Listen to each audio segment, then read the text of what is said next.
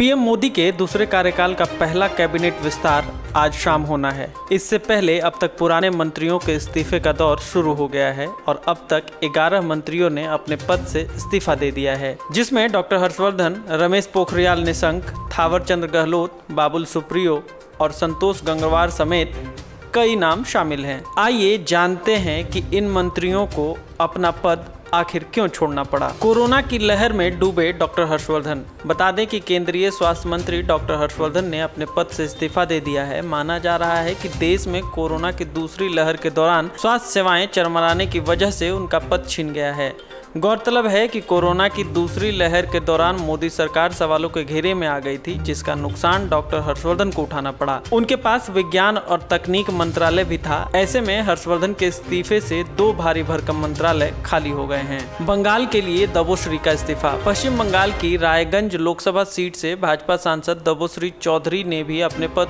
को छोड़ दिया है। वह महिला एवं बाल विकास मंत्री थी। सूत्रों का दावा है कि पश्चिम बंगाल भाजपा में उन्हें अहम पद दिया जा सकता है, जिसके चलते उनसे इस्तीफा लिया गया है। स्वास्थ्य कारणों से हटाए गए निशंक। उत्तराखंड के हरिद्वार लोकसभा सीट से सांसद रहे रमेश पोखरियाल निशंक को इस्तीफा देने को कहा गया है। उनके पास मानव संसाधन विकास मंत्रालय का प्रभार था। बताया जा रहा है कि स्वास्थ्य संबंधी कारणों के चलते निशंक को हटाया गया है। दरअसल, कुछ दिन पहले उन्हें कोरोना हो गया था, जिसके चलते वह करीब एक महीने तक अस्पताल में भर्ती रहे। उस दौरान शिक्षा के क्षेत्र में हालात इतने बिगड़ गए कि सीबीएसई को फैसला लेने के लिए पीएम मोदी को खुद आगे आना पड़ा। गौरतलब है कि नई शिक्षा नीति पीएम मोदी के दिल के काफ़ी करीब है, लेकिन शिक्षा मंत्रालय उसका श्रेय सरकार को नहीं दिला पाया, जिसका नतीजा उन्हें कुर्सी गंवा कर चुकानी पड़ी। बाबुल सुप्रियो। बताया जा रहा है कि पश्चिम बंगाल के आसनसोल सीट से सांसद बाबुल सुप्रियो ने भी इस्तीफा दे दिया है। वह पर्यावरण मंत्रालय में राज्य मंत्री थे। दावा किया जा रहा है कि बाबुल सुप्रियो पार्टी से नाराज़ चल रहे थे। इसके पीछे पश्चिम बंगाल विधानसभा को जिम्मेदार ठहराया जा रहा है, जिसमें बाबुल सुप्रियो मैदान में उतरे थे, लेकिन पचास हज़ार वोट से हार गए। सदानंद गौड़ पर भी कोरोना की मार। कर्नाटक की बेंगलुरु उत्तर लोकसभा सीट से भाजपा सांसद सदानंद गौड़ ने भी इस्तीफा दे दिया है।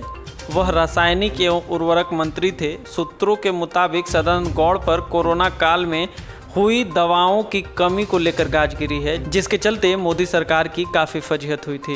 उत्तर प्रदेश की बरेली लोकसभा सीट से संतोष गंगवार को भी पद से हटा दिया गया है। वह स्वतंत्र प्रभार से श्रम एवं रोज़गार मंत्री थे। बता दें कि कोरोना काल में संतोष गंगवार की चिट्ठी वायरल हुई थी, जिसमें उन्होंने उत्तर प्रदेश सरकार की आलोचना की थी। माना जा रहा है कि गंगवार को उसी चिट्ठी की सजा मिली है। प्रताप सारंगी को भी पद छोड़ना पड़ा है।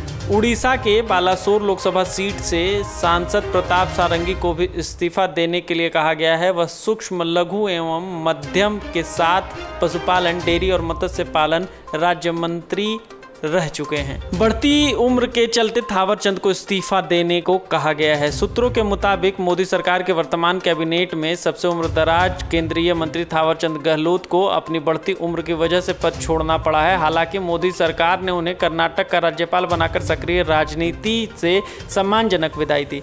गौरतलब है कि मोदी सरकार अपने पहले कार्यकाल, यानी 2014 से ही यह तय कर चुकी है कि 75 साल से ज़्यादा उम्र के किसी भी मंत्री को कैबिनेट में नहीं नहीं रखा जाएगा।